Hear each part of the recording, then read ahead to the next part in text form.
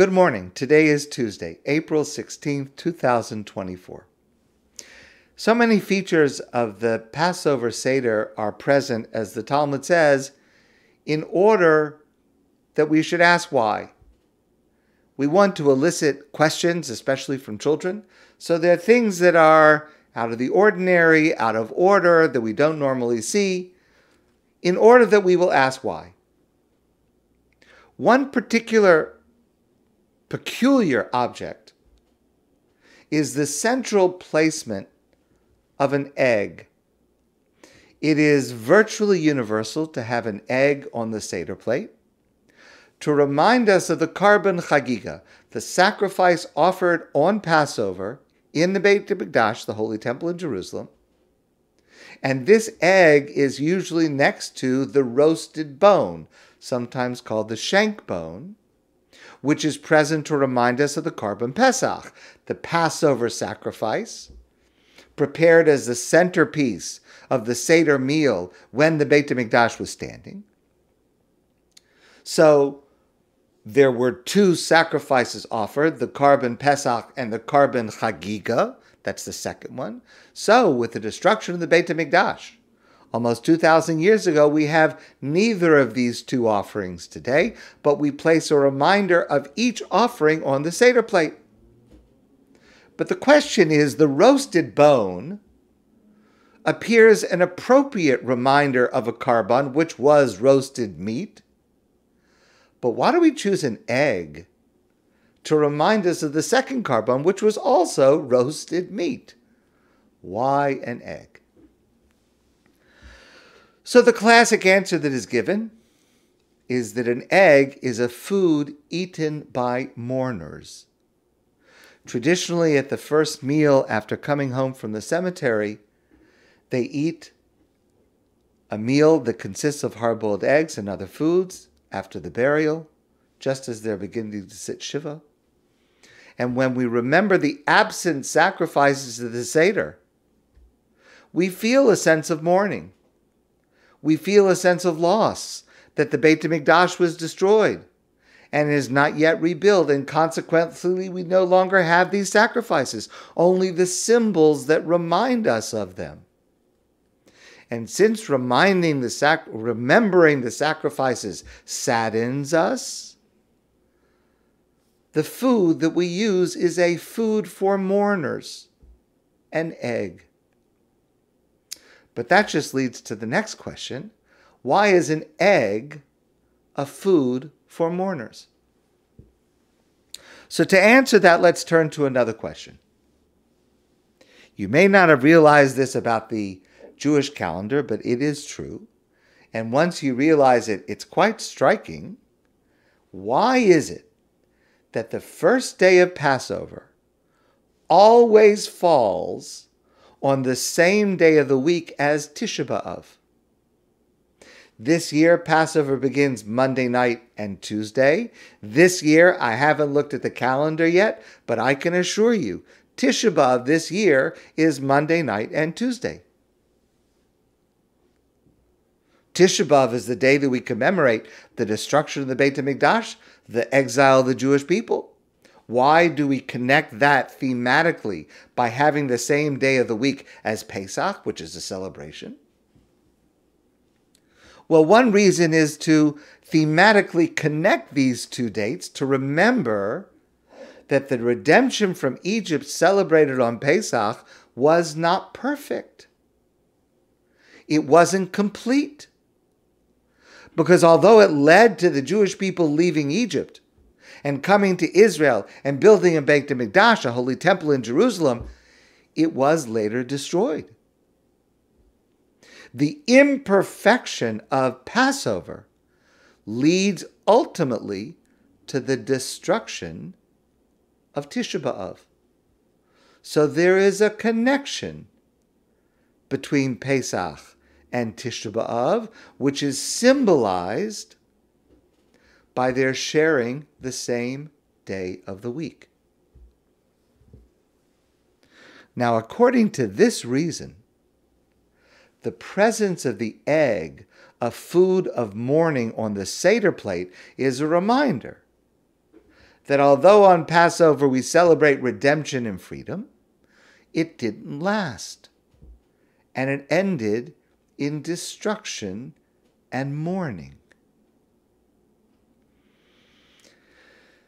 This answer, which is true, is disturbing.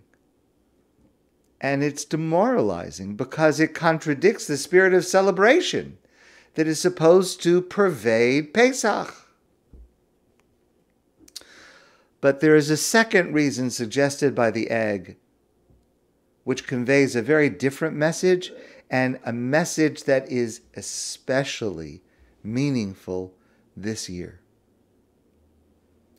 Why is an egg a food eaten by mourners? Because it is round. So what? The Ramah, Rabbi Moshe Isserles, explains that a round food symbolizes that life is a circle that returns. Death is temporary, and the neshama, the soul, unlike the body, is eternal. Now, this is the message that we repeat and emphasize throughout the mourning process starting at the burial, where mourners say a special form of the Kaddish prayer, which begins with the words, Yiskadal Yiskadash, may God's name be exalted and sanctified in the world, which will be renewed, and where God will revive the dead and raise them up to eternal life. The ultimate consolation of death is that the next stage after it is life. Death is not the last stage. And this brings us to a completely new understanding of the egg's presence at the Seder. We don't have the korban because the Beit HaMikdash was destroyed. But we have a reminder of the missing korban, an egg, an egg reminds us that even though the Beit HaMikdash is not yet rebuilt, and we as a people are still in mourning, and of course we this year are in a state of mourning and loss and pain and trauma, the egg reminds us it will be rebuilt. It will come back redemption is promised to us. The roundness of the egg conveys that which is lost is not lost forever. We will have it again.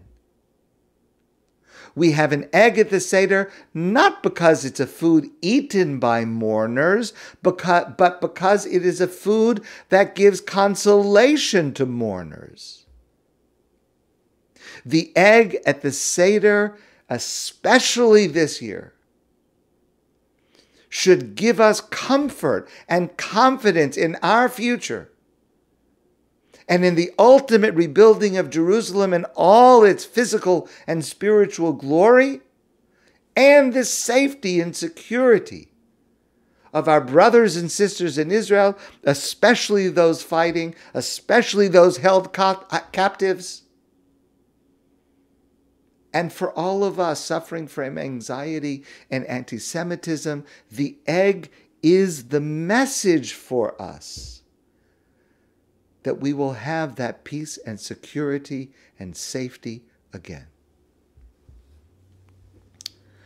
Rabbi Yaakov Yitzchak Horowitz was a great Hasidic master. He was known as the Chozeh Lublin, the seer of Lublin. He died in 1815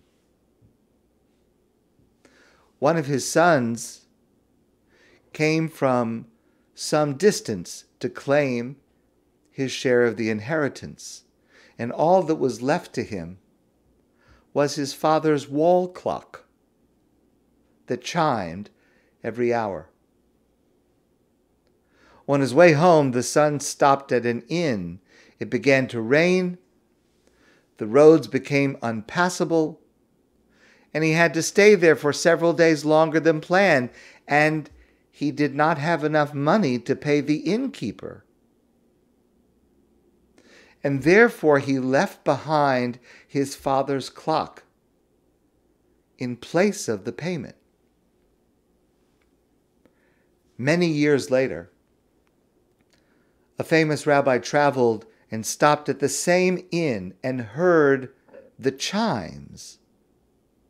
He saw the clock and he excitedly turned to the innkeeper and said, Where did you get that clock? The innkeeper told him about the son and why he had left it there. The rabbi told the innkeeper that he recognized the clock and that it belonged to the famous Chozeh Lublin. The innkeeper said to him, How did you recognize the clock? It's just a clock. And the rabbi replied, Every other clock, when it strikes the hour, it has its own peculiar and characteristic message. The chime calls out, One hour closer to death. But the clock of the Chozeh Lublin had a message different from any other clock in the world. Its chimes called out, one hour closer to redemption.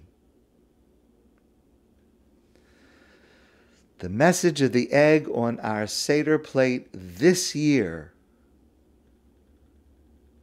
is to remind us that despite what is happening around us and despite what we feel, despite what we have lost, the egg reminds us that we are one hour closer to the ultimate redemption. My friends, I wish you a good day and I look forward to seeing you all soon in person.